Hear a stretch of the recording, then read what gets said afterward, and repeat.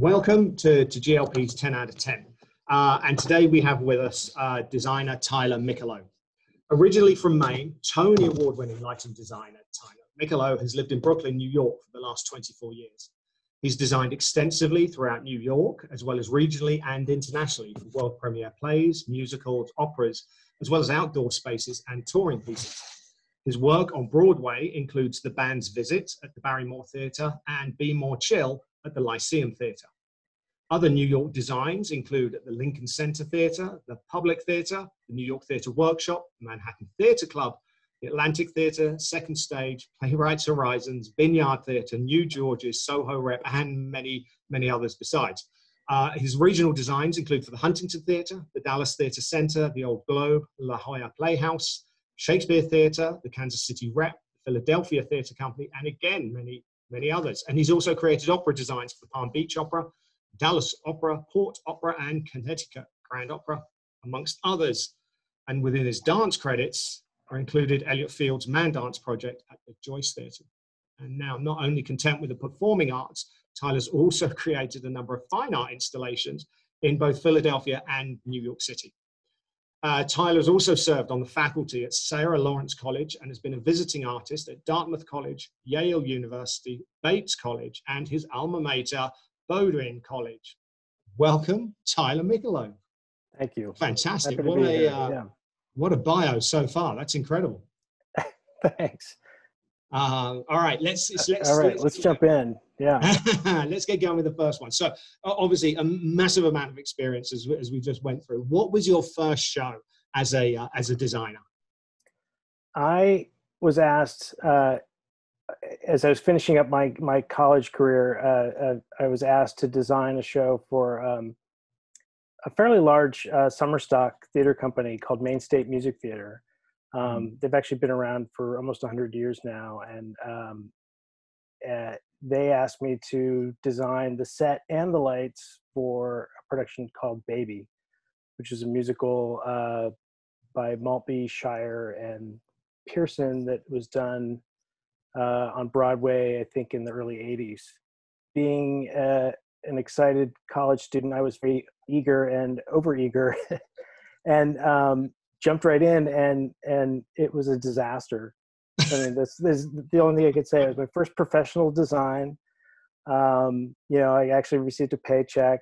Uh, and it was a combination. It was like a perfect storm of all the things that could go wrong because it was uh, uh, I was doing the set and the lights didn't have an assistant for either of those disciplines. Um, and it was summer stock so we had to put it up in three days so between focus and first audience. Right. Uh, yeah. It's it's certainly been thrown in at the deep end to be to be responsible for both set design and, and lighting on your on your first time out.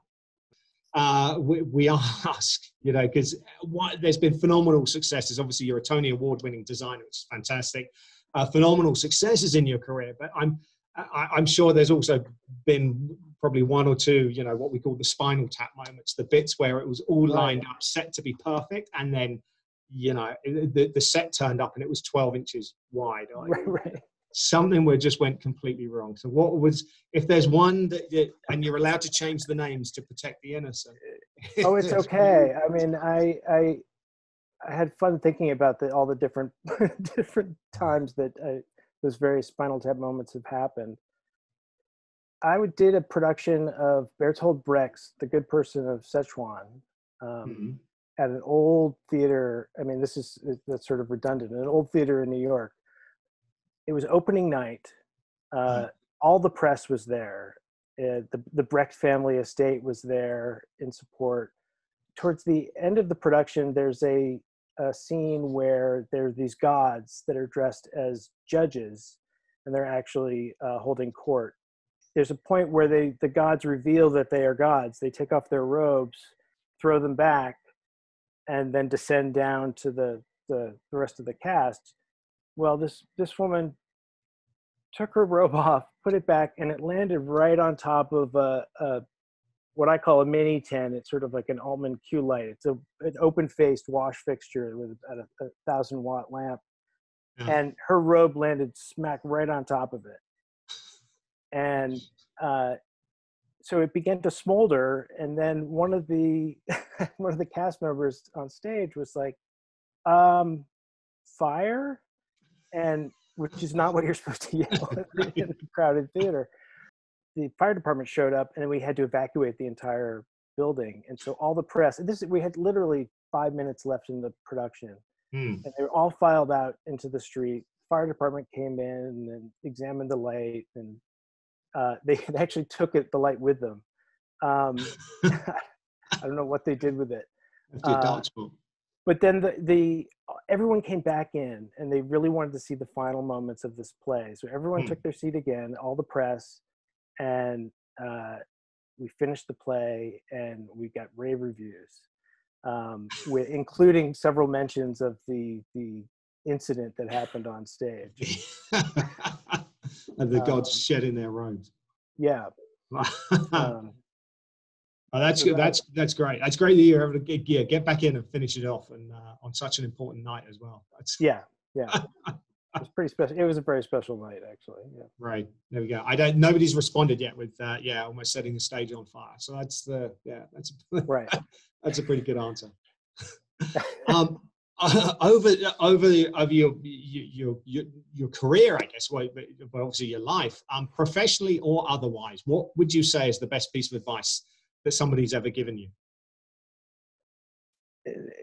you know, early on, particularly when I was struggling, uh, I encountered a lighting designer named Clark Thornton. Um, I'm not so sure he's around anymore, but he uh, he just had one word. He said perseverance. You know, it's going to be hard. eh, Just stick it out. Hmm.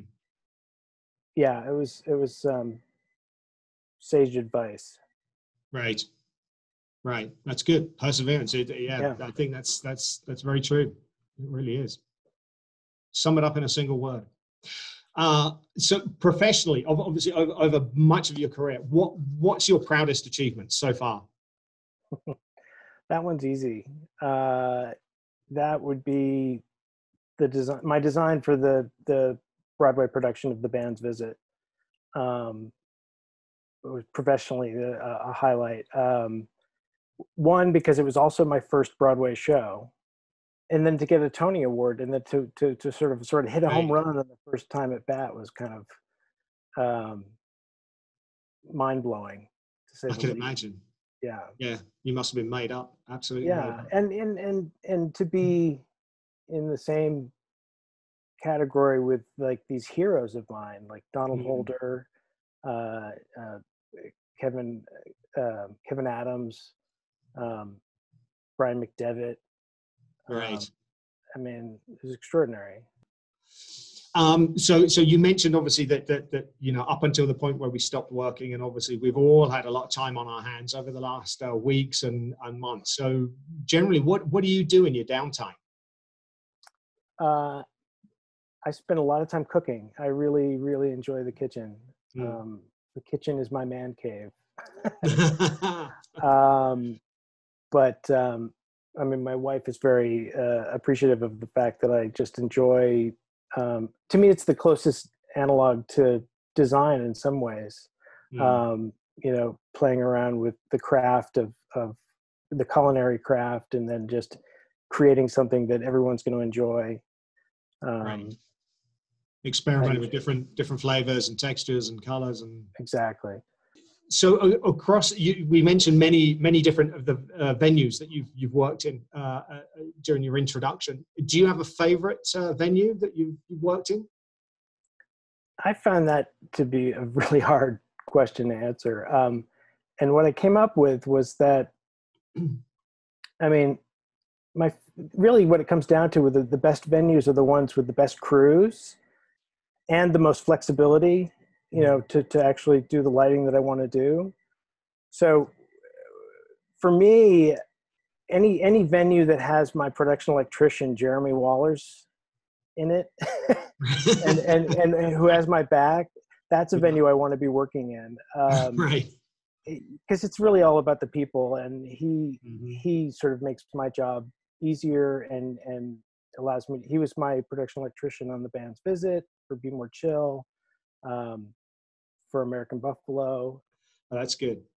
Um, coming coming coming back to a little bit more of a, a you know a, a lighthearted question away from away from work so much. So so again, you know, we've all been uh, quarantined up for for so long, um, and and of course, one thing that a lot of people do listen to music. Is there would you, is there one artist or, or one particular record that uh, that you know that would be the first thing if the house was burning down? That's the first thing you're taking that you would. Uh, another tough one because there's so many options. But the one that's been going through my head, actually, it's been two two different things. But the one that's been really going through my head is Elvis Costello's uh, "Brutal Youth" album. Right. Yes. Um, it's it's uh, you know it's not necessarily a perfect album, but I mean anything he writes is is gold. And uh, there's just something about it was the first time he got back with the Attractions in a long time, Mm. and uh, they're such a tight band. Um, Yes. yeah. true. that Yeah. that's that's been going through my head um, a lot. Yeah. Right. Yeah, phenomenal artist who's who's you know had a lot of longevity in his career as well. Yeah, It's, yeah. uh, yeah, really has, really has. Um, okay, so so so spinning back, if uh, if you could go back to the the teenage version of of, of Tyler, and uh, and you could offer a, a little piece of advice, what uh, what would be the piece of advice you'd uh, you'd give? Uh, uh, trust the the choices that my more experimental choices. I mean, just really trust that. I mean, I'm, I'm I might fail, but uh, I'm going to get something out of that failure, Mm. um, and get more sleep. I should have I should have slept more. I did not sleep much at all. Yeah. that's that's a golden piece of advice. That's yeah. that's fantastic. um, now, if you could, if it, next next question, if you could, uh, if you could sit down for a cup of coffee or you know a, a glass of whiskey and a cigar with with one person, living or dead, uh, who's the who's the one you choose? Uh, dead people are so boring because they don't speak much. So uh, I would be really, really interested in meeting and spending some time with Willie Williams. Okay, right. Um, yeah, his his trajectory is something I sort of followed along with, but I mean, I'm just uh, surprised. Maybe maybe not surprisingly, but I'm I'm very interested in concert designers, mm-hmm. and because they really truly are pioneering uh, with some with new gear and developing new gear and and new ways of of telling stories and uh, alongside music. I just yeah, I, I would love to just pick his brain and sort of find out sort of like where the seeds of a lot of those choices came from. Uh, great choice. Absolutely great choice. And you're right. He's probably a bit more, a bit more talkative than some of the dead people out there. uh, all right, we're getting towards the end now, Tyler. So for our final question, uh, we wanted to throw in something just a, you know, a little bit, a little bit fun, a little bit off the wall. So, you know, what we say, the the phone rings, uh, and it's the U.S. Olympic Agency, and they're calling you up. Now's your time. Now's the time when you can compete in the Olympics. It, it could be the winter games, could be the summer games. Uh, which sport are they calling you up for? It would have to be outdoors because I, I, would prefer that. I'm very fond of being outside. Hmm. Um, I don't know that it exists, but the the I, I would I could see myself being a biathlete in terms of which is usually a combination of uh, uh, cross country skiing and uh, target shooting. right. um, yeah. But I would want it to be cycling and target shooting. Uh, you know, so I, I, you know, I, would rather be in, in better weather and uh, riding my bike than um, in the snow. But right. uh, but there's just something about the the temperament that is required to be doing something full out physically, you know, with your heart racing, and then to stop on a dime and calm yourself down to the point Mhm. that you can actually do something with a target and actually you know succeed with with some accuracy um i i, I Yeah. thought of that as is something that would be uh you know very very analogous to what we do Great. No, that's that's that's true. Have have all of a sudden that that that really focused uh, uh, precision. Yeah. yeah Yeah. The All rest right, of the time, we're just running and running and running. That's right. That's Yeah. right. Um, Tyler, this has been fantastic. Thank you so much for the insights. Uh, Oh, thank you, so Mark. much for you know sharing sharing your knowledge and and uh, yeah, telling you how you how you're living through uh, all of these interesting times that are going on at the moment. So, thank you again, and uh, and I look forward to catching up with you in person uh, as soon as we possibly can. yeah, that'd be great. Be Great. safe until then. Thanks, Tyler. Bye. All right. Bye bye.